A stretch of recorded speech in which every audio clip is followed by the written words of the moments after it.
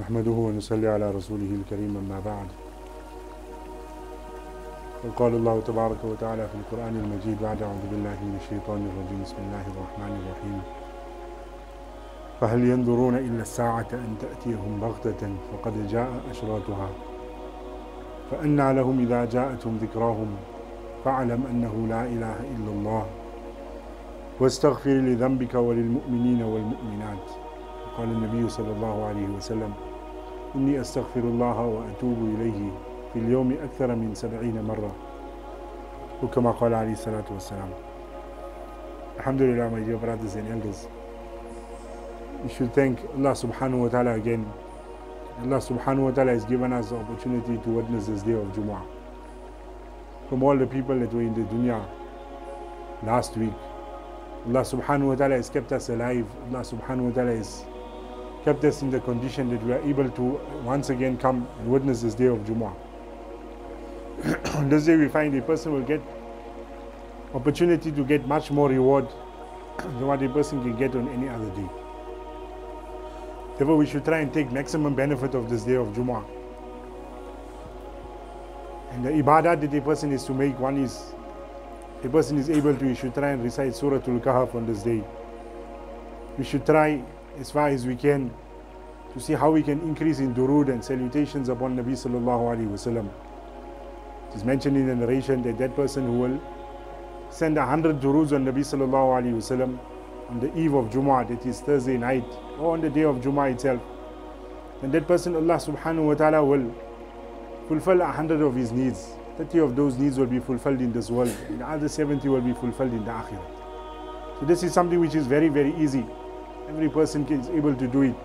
All we have to read the shortest durood, sallallahu alayhi wasallam, sallallahu alayhi nabi ummi. It will take a person three to four minutes to do this a hundred times.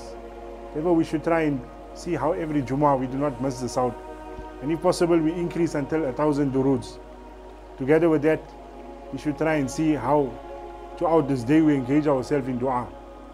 One narration, Nabi sallallahu alayhi wasallam mentions that that person who will Uh, engage himself in dua, there is a certain moment within the day that no matter who makes a dua on that moment, if he finds that moment, Allah subhanahu wa ta'ala will definitely accept this dua of his. Some ulama mentioned that this is in between the two khutbahs that take place. Other ulama mentioned it is between the time of Asr to Maghrib. So we should try and engage ourselves more in dua. Together with that, we should try and understand the objective and the purpose why Allah subhanahu wa ta'ala has sent us into this dunya is to see how we can become the slaves and how we can become the servants of Allah subhanahu wa ta'ala. Everything else that is connected to the dunya, connected to this worldly life, is by the way. But the main objective and the main reason that we have been sent here is to see how we can worship Allah subhanahu wa ta'ala. So we have to see how we can give this preference to each and every single thing around us. When Nabi sallallahu alayhi wasallam was sent, and all the other Anbiya alayhi also, then they came with the the message of the oneness of Allah subhanahu wa ta'ala and the message that people should follow the Nabi of that time. And together with that they came with certain warnings of to people and certain information. And one of those things was that there is a day that is going to come, which definitely Allah subhanahu wa ta'ala also mentions in the Quran. إِنَّ السَّاعَةَ لَآتِيَةٌ لَا رَيْبَ فِيهَا That there is a certain day that is going to come, on which Allah subhanahu wa ta'ala is going to destroy this entire world. That is going to be, that is known as the day of Qiyamah. In the Quran, Allah subhanahu wa ta'ala refers to it as as the hour. At that moment when everything will cease now to exist. And the only thing that will now remain is the being of Allah subhanahu wa ta'ala Himself. So Anbiya alayhi salam, they came and they warned us about these things. And they told us that a person should prepare himself for the akhirat before such a time comes upon him when he will now not be able to make ibadat anymore. He will not be able to worship Allah anymore. He will not be able to be obedient to the commands of Allah subhanahu wa ta'ala anymore. So these, this qiyamah is something which is definitely it is going to take place. And Allah subhanahu wa ta'ala says that speaking with regards to the people of the time of Nabi sallallahu alayhi wasallam, that he came and he gave them advice and he gave them nasihat and he told them to come onto the commands of Allah and to follow his way of life. But there were certain people that they were not accepting this nasihat of Nabi sallallahu alayhi wasallam. They were not making amal, they were not bringing these things within their life. Allah subhanahu wa ta'ala asked him a question. And he says, فَهَلْ يَنْظُرُونَ إِلَّا السَّاعَةَ Are they waiting for, they are not waiting for anything else except the day of Qiyamah. And تَأْتِيَهُمْ بَغْتَةً That it will come upon them all of a sudden. When a person, the day of Qiyamah, nobody knows when it's going to take place. Allah didn't give the knowledge of this to anybody else. It is only in the knowledge of Allah subhanahu wa ta'ala. But it is definitely it is something which is going to take place. Allah says, that the people waiting? are waiting for the day of Qiyamah before they can make amal on the commands of Allah, before they can follow the sunnah of the Nabi sallallahu alayhi wasallam. Are they waiting for their time? And Allah subhanahu wa ta'ala says, When this day of Qiyamah will come, Baghtatan, all of a sudden it will come. And Allah subhanahu wa ta'ala says, فَقَدْ جَاءَ أَشْرَاطُهَا The signs of Qiyamah have already come. One of the main signs of Qiyamah was the coming of Nabi sallallahu alayhi wasallam himself. Nabi sallallahu alayhi wa sallam in a hadith he narrates and he says that بُعِثْتُ أَنَا وَالسَّاعَةُ كَهَاتَيْنِ That myself and Qiyamah we have been sent like this and he made indication by means of his uh, index finger and his middle finger. So close he said that we have been sent and now Qiyamah is going to come. This was the first major sign of the coming of Qiyamah. Then together with that Allah subhanahu wa ta'ala says with regards to اقتربت الساعة وانشق القمر that Qiyamah itself has come close and the splitting of the moon in the time of Nabi sallallahu alayhi wasallam this was one of the most major signs of Qiyamah going to take place. And then during his life, many other things had taken place. Nabi Sallallahu Alaihi Wasallam then, in explanation of the coming of the day of Qiyamah, Nabi Sallallahu Alaihi Wasallam then explained many, many things that would take place, which would indicate towards a person that now the day of Qiyamah is now coming very, very close. So these signs, ulama mentioned that it is, doesn't have to be specific to a certain time. Sometimes these signs they will repeat themselves, they will come over and over. But when a person, the objective of Nabi sallallahu alaihi wasallam, because one is a person he sees the sign of Qiyamah, he speaks about it as is common today.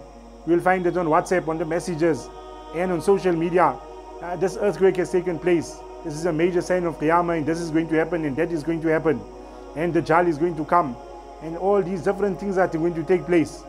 So that in itself, just knowing that the sign of Qiyamah came is of no benefit to a person hey, okay, I saw some earthquake took place.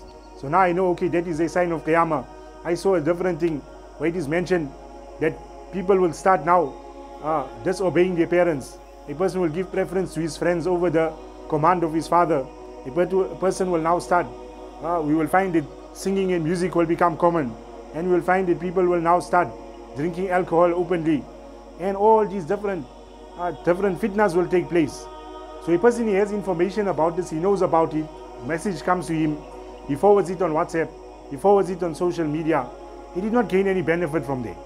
Even if he saw this, the greatest sign of Qiyamah coming, he saw the sun rising from the, he saw the sun that is rising from the west instead of rising from the east.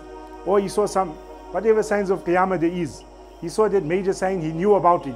That is of no benefit to him.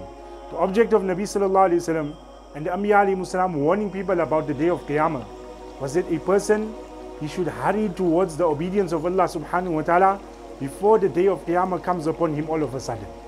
So more important than knowing the signs of Qiyamah and witnessing the signs of Qiyamah that are going to take place is that a person needs to prepare himself for the Akhirat before that time comes upon him. So these signs, these things are supposed to take a person closer to Allah subhanahu wa ta'ala. It's supposed to take us closer to the obedience of Allah, to the worship of Allah subhanahu wa ta'ala. This is when now these things will be of benefit to us. Merely knowing that it is a sign, that some sign has taken place, some earthquake has taken place, some flooding has taken place in some area. Now we say, no, these are all signs of Qiyamah. But no change comes in our life. That means I have not really taken the lesson that I was supposed to take from those signs of Qiyamah. So, yeah, in one narration it comes that the Qiyamah of each and every single person is on the day when he will die. That is when his qiyamah starts already. Because he is going to be questioned. His journey towards the akhirat is starting already. Yes, the day of qiyamah itself, that is something else when everybody will be taken out of their graves. And people will have to now proceed towards the plains of resurrection. And people will have to start answering for their deeds. But every person, his qiyamah starts already the day when he passes away. So this is uh, the lesson and the object of the Anbiya Muslim telling us about these things. Allah subhanahu wa ta'ala warning us about the day of qiyamah in the Quran was so that people could take heed and start making an effort to change their lives. Therefore, after Allah subhanahu wa ta'ala mentions this in the Quran, that فَقَدْ جَاءَ أَشْرَاتُهَا فَأَنَّا لَهُمْ إِذَا جَاءَتُمْ ذِكْرَهُمْ Now the day of Qiyamah all of a sudden comes upon a person. his death comes upon him. Now all that nasihat, all that advice of the Anbiya salam, of Allah subhanahu wa ta'ala, of the ulama that were given to people. Now Allah subhanahu wa ta'ala says, where is that advice going to benefit him now? He has already seen the things of the unseen. Malakul, the angel of death, Malakul Maut has come. He's taken his soul already.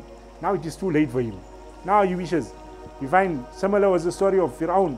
That he, Musa salam gave him dawat. He called him towards the oneness of Allah subhanahu wa ta'ala. Continuously. Uh, he knew that what Musa salam is saying is true. But he would not, his pride would not let him accept it. Until such a time finally came upon him when he was now uh, in, he was going to be drowned. At that moment, he said, Now I bring Iman in the Rabb of Musa and Harun. Salam. Now Allah subhanahu wa ta'ala told him, Ahl an, now you want to bring Iman? وَقَدْ عَصَيْتَ مِنْ قَبْلِ Before that you had already disobeyed us. You refused to accept. Now it was too late for a person. Now the day of his day of Qiyamah started already. Where is the nasihat and the advice going to be of any benefit to him? And Allah subhanahu wa ta'ala says, so now a person is seeing all these signs, he's seeing all these things happening. So what should he do now? فَعْلَمْ أَنَّهُ لَا إِلَهَ إِلَّا اللَّهِ He should renew his yaqeen and his conviction that there is none worthy of worship besides Allah subhanahu wa ta'ala. The Quran itself was revealed to Nabi sallallahu alayhi wasallam. There was no doubt that Nabi sallallahu alayhi wasallam had no doubts, he had no misgivings about the fact that there is none worthy of worship besides Allah. But yet Allah subhanahu wa ta'ala told him that you should know that Allah, there is none worthy of worship besides Allah. The command that was given here was so that he could renew his intention, he could increase his yaqeen. The verse mentioned so that now yaqeen of La ilaha illallah could be increased. So all as we see all these things taking place around us, that uh, a person is seeing different situations around him, whether it is people have started now taking towards uh, drinking has become common, uh, people taking alcohol, people are committing zina openly, and all the different signs of qiyamah. He sees earthquakes taking place, flooding taking place, voices being raised within the masajid. All these are signs of qiyamah. Now, what is his job? His job is to now reaffirm his conviction in Allah subhanahu wa ta'ala. The outside the world will tell him that this earthquake is taking place because of some scientific thing and the flooding is taking place because of this. But to reaffirm his conviction that whatever is happening in the dunya is only happening by the command of Allah subhanahu wa ta'ala. Without the will and the permission and the command of Allah subhanahu wa ta'ala, nothing can happen. And naturally, when a person reaffirms his conviction that I am not supposed to be turning my heart towards anybody else besides Allah subhanahu wa ta'ala. Right? The kalima we read, La ilaha illallah, ilah. What is ilah? it is that which the heart of a person turns towards to in the time of need. So wherever our hearts are turning in the time of need and necessity, that is who we have made our ilah. Our person that we have to worship is Allah subhanahu wa ta'ala. So in every given situation, how my heart can turn towards Allah subhanahu wa ta'ala. That Allah is the one that can solve my problem. Allah subhanahu wa ta'ala is the only being that can remove difficulty. Whatever hardship has come upon me, the only being that can remove this is Allah subhanahu wa ta'ala. Anbiya alayhi taught us this. Ibrahim alayhi salam, when Yusuf alayhi salam, his beloved son, was taken away from him, at that time he made the statement, Inna ma ashku bathi wa huzni ilallah. My complaints and my grief and my worry and concern is only directed to Allah subhanahu wa ta'ala. Because Allah is only the, the only one that can remove these problems of ours. So at that time, فَعَلَمْ أَنَّهُ لَا إِلَهَ إِلَّا اللَّهِ A person turns his heart back towards Allah subhanahu wa ta'ala. That Allah is the one that is going to solve my problem. Whatever difficulty I am in, whatever difficulty has taken place, whatever sign of Qiyamah has come, it has come from Allah subhanahu wa ta'ala. And the object was to see how my heart can turn towards Allah subhanahu wa ta'ala. And the second thing that Allah subhanahu wa ta'ala has commanded us that we should do was تَغْفِرْ لِذَنْبِكَ وَلِلْمُؤْمِنِينَ وَالْمُؤْمِنَاتِ And seek forgiveness for your sins. And together with that seek forgiveness on behalf of the whole ummah, on all the believing males, all the believing females. Seek forgiveness on behalf of these people. So we should see that how Number one, we reaffirm our conviction in La ilaha illallah. And number two, we make istighfar, abundance of istighfar. We seek the forgiveness of Allah subhanahu wa ta'ala. Nabi sallallahu alayhi wasallam was that person it is the aqaid and the belief of the Ahlul Sunnah wal Jama'ah that he did not commit any sin during his life. Anbiya alayhi they are ma'asum, they are protected from committing sin.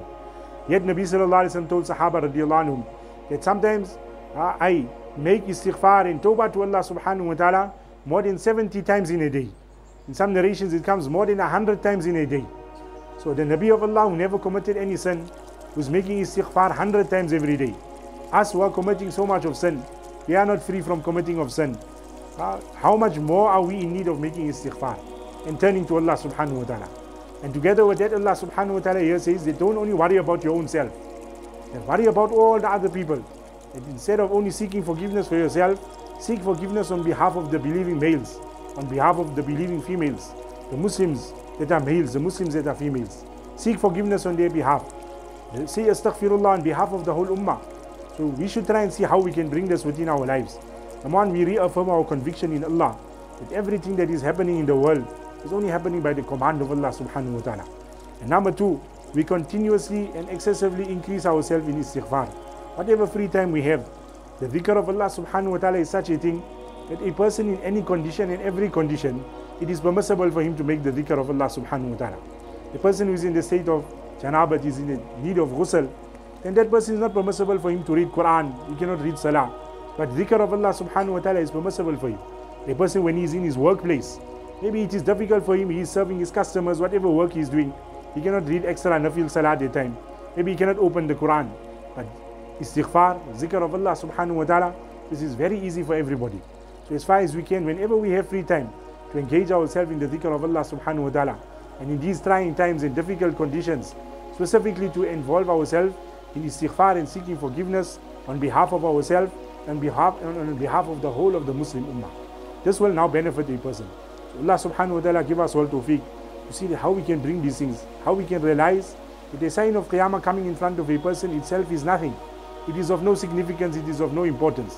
But when it will direct him to change his life, to bring his life back onto the commands of Allah, to bring his life onto the sunnah of Nabi sallallahu alayhi wasallam, then him witnessing that sign will become a means of benefit for him. Allah subhanahu wa ta'ala give us all tawfiq to see how we can understand this and bring these things within our life. وآخر دعوانا الحمد لله رب العالمين